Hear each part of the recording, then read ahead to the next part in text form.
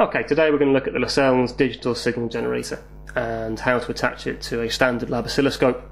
Generally go through the main functions of the signal generator here and let you see just what it's capable of. So the signal generator is going to be connected to the scope using a standard 4mm to BNC connector lead.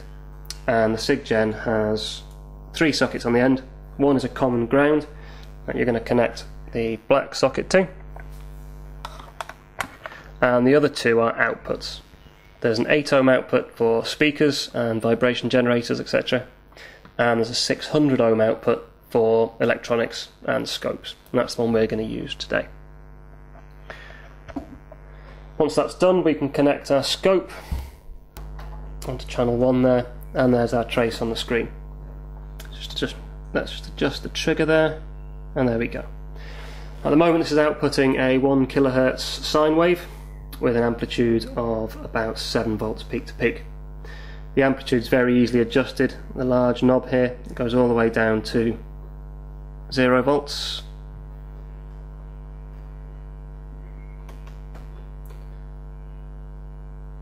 That's 0.4 and we can take it all the way down to that's 0.2 nicely visible on the scope nice clean trace and that can be adjusted all the way up to 24 volts peak to peak and there you go, still retaining the nice sinusoidal trace.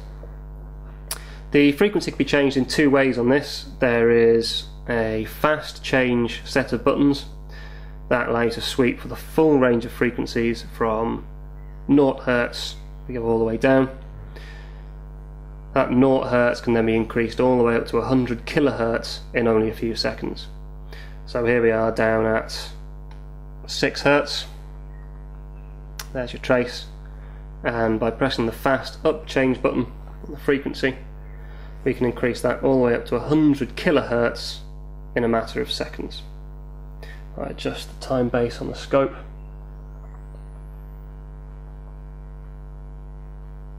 There's your 100 kilohertz wave, nice and clean on the scope.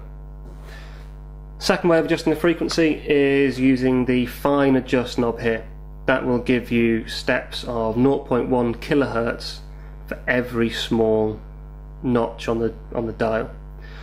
This allows you to adjust the frequency to exactly what you want once you've got the rough frequency set using the fast change. There are three waveform outputs on the SIGGEN here. There's a sinusoidal wave, a square wave for electronics work, things like that, and a triangular wave, all of which remain the same frequency as you've set and all of which are adjustable in the same way as the sine wave. The Lascells digital signal generator. Thanks very much.